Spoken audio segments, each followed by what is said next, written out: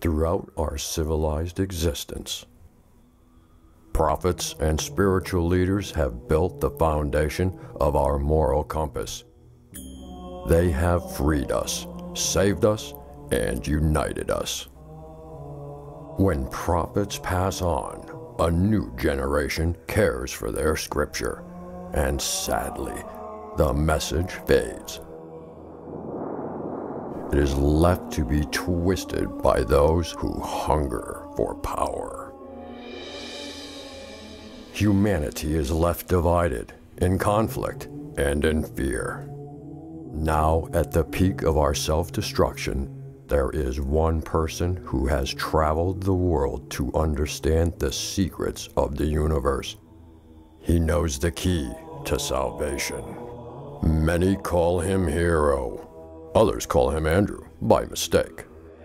But we may call him Charlie. The end of his journey is our new beginning.